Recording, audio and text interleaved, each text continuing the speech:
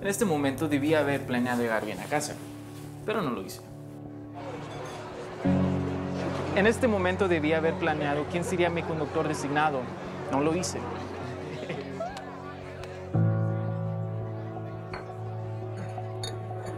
En este momento debía haber planeado llamarle a un taxi. No lo hice. En este momento debía haber parado.